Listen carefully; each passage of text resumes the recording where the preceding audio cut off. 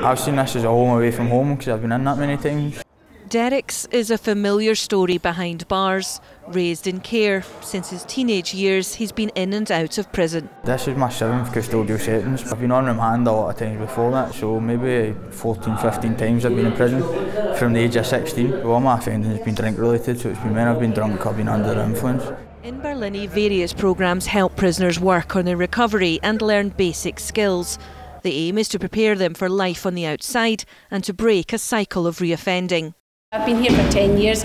I used to work in a secure unit before that and I've seen some of the young boys from the secure unit coming through the prison system as well. So it's just a constant revolving door. So it's just finding that wee bit of positivity, you know, that wee bit of potential in a prisoner. The only thing they can teach, the only thing they don't teach you in this place is know how to come back. Teach everything else, but they don't teach you not to come back to prison. And I keep coming back. Hopefully not this time. For the last year, a consultation has been exploring a different approach to the sentencing of young offenders under the age of 25.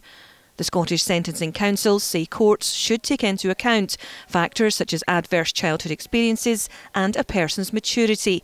It's recommending judges and sheriffs consider rehabilitation first rather than custody.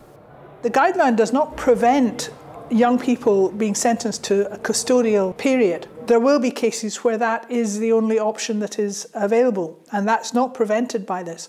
But the whole focus here is in those cases where rehabilitation is a realistic prospect, that is what should be at the forefront of the sentencer's mind. The council say its decision is based on scientific evidence that shows the brain is not fully developed below the age of 25.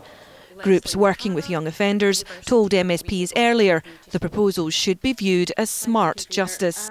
What it should do and support is the ability to access the correct services at the correct time in the system. The more community that we can put into justice, the better, because we already understand that networks, relationships, and connection are what truly changes lives, and that is true of young people as it is more so probably than any other. Craig was given his first custodial sentence at 19.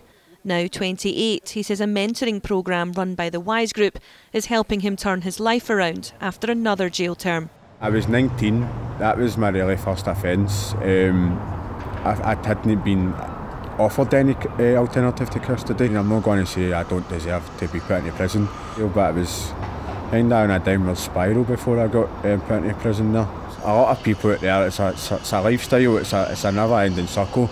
That, that circle can be broke. I feel as if I'm making positive steps to make that break. Victim Support Scotland say they want to see significant investment in more rehabilitation programmes. These recommendations from the Sentencing Council will go before the High Court for approval this month. Sharon Frew, STV News.